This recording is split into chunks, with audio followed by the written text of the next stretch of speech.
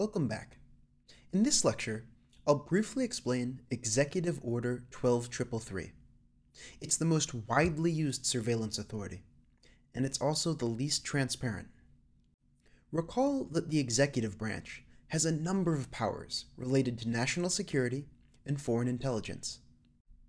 It has long been the understanding that the president has a degree of inherent power to conduct intelligence operations. As for just how much power, well, scholars have devoted entire careers to that topic. The law surrounding separation of powers in the federal government is notoriously ambiguous. For purposes of this course, I'll lay out the general framework that many legal practitioners use when approaching a separation of powers issue. The framework comes from Justice Jackson's concurring opinion in Youngstown Sheet and Tube Company against Sawyer. It's usually called the Steel Seizure Case, for short. The case arose during the Korean War. Steel workers went on strike, threatening the war effort. And so, in violation of federal statutes, President Truman ordered a seizure of domestic steel production facilities. A majority of the Supreme Court held that the president did not have power to order the seizure. It was, therefore, unlawful. As for why it was unlawful, the justices were badly fragmented. So, while the scope of presidential power remains deeply uncertain, Justice Jackson's analytical framework has had lasting impact. There are three categories in Justice Jackson's framework. The first relates to executive conduct that Congress has authorized. In that category, the president's, quote, authority is at its maximum, unquote. If some conduct is unlawful, it's really only because the federal government entirely lacks constitutional power for that conduct. Everything we've seen so far with the Electronic Communications Privacy Act and the Foreign Intelligence Surveillance Act falls into this category. The second category is where Congress just hasn't addressed an issue. In those areas, the president acts in, quote, a zone of twilight, unquote. The scope of the president's inherent power is informed by historical practice and contemporary necessities. This is the area where Executive Order 12333 provides primary guidance. And this area includes almost all foreign intelligence operations outside the United States. I should note that Executive Order 12333 and related authorities do apply to congressionally authorized surveillance. But since statutes are generally more protective, it's of limited effect. In surveillance debates, when there's discussion of Executive Order 12333 surveillance, that usually means surveillance outside the United States that's not covered by ECPA or FISA. The final category that Justice Jackson set out consists of executive conduct that Congress has forbidden. In those areas, the president's, quote, power is at its lowest ebb, unquote. Put differently, this category pits Congress's Article 1 power directly against the President's Article 2 power. In the years following the September 11th attacks, the Bush administration engaged in surveillance practices that fell within this category. Even the Department of Justice concluded as much. In its view, some of these surveillance practices were unlawful, but others were a valid exercise of Article 2 power. In the mid 2000s, the Bush administration moved away from this category. And in modern practice, there appears to be maybe just one program that still operates in this category. The executive branch calls it Transit Authority, and it applies to international telecommunications traffic that happens to pass through the United States. Very little is known about it. Okay, so there's a roadmap through the separation of powers issues associated with foreign intelligence surveillance. since that was some murky law, and it's really important, let me recap. Executive Order 12333 embodies the President's inherent Article 2 powers. It's the primary authority for surveillance that isn't regulated by the Electronic Communications Privacy Act or the Foreign Intelligence Surveillance Act. That includes almost all surveillance outside the United States.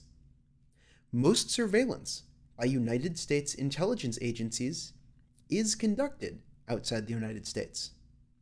So, Executive Order 12333 is the primary authority for most surveillance by United States intelligence agencies.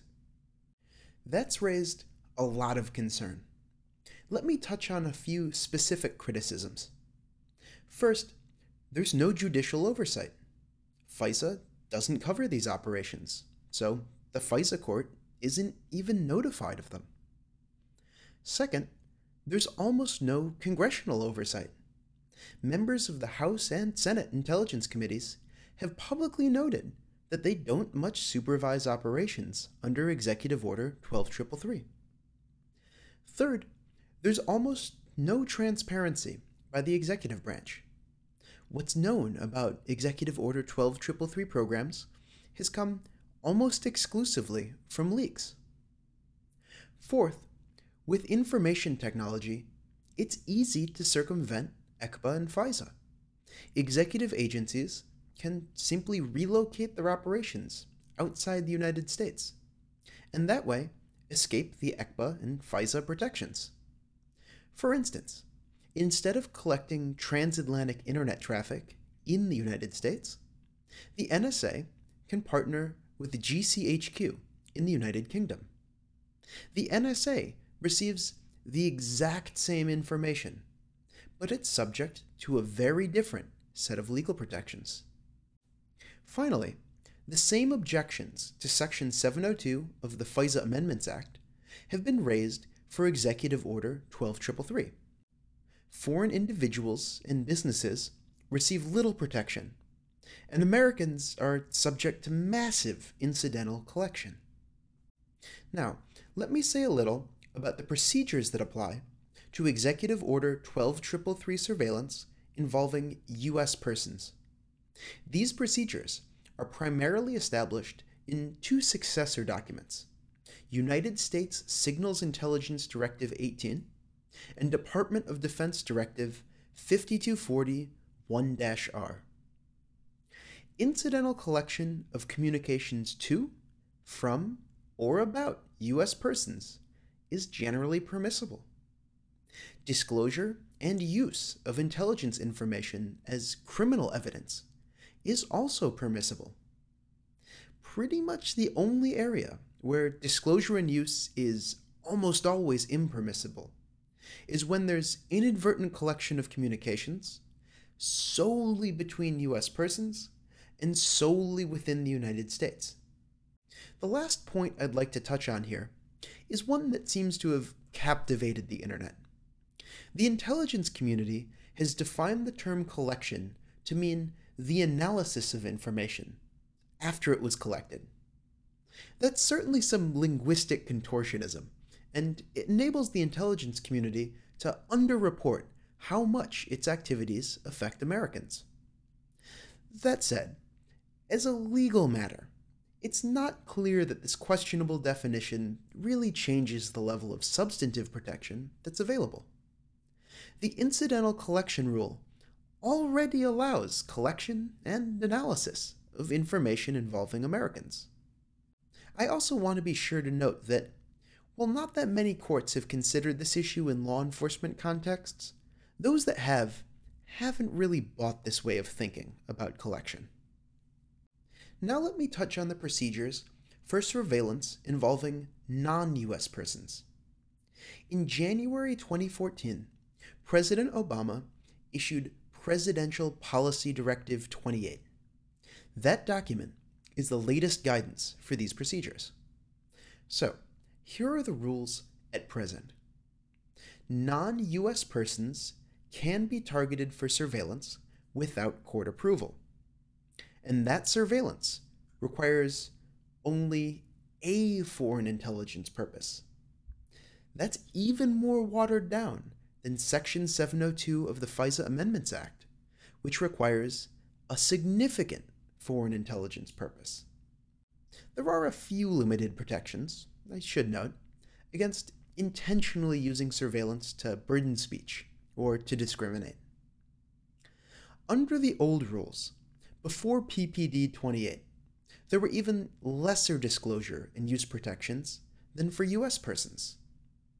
Under the new PPD 28 rules, very roughly the same disclosure and use protections apply. Before closing, let me touch on some of the intelligence practices under Executive Order 12333. There's been targeted surveillance, including of foreign government leaders. There's been bulk surveillance, including the entire phone systems of certain countries. There's been hacking into devices, including most prominently components of the Iranian nuclear enrichment program. There's even been hacking into entire national telecommunications infrastructures. In sum, Executive Order 12333 is like the Wild West. It's very open ended authority. So, that brings to a close this part of the course on the various sources of legal authority for foreign intelligence. In the next part of the course, I'm going to do my best to explain some controversial NSA programs.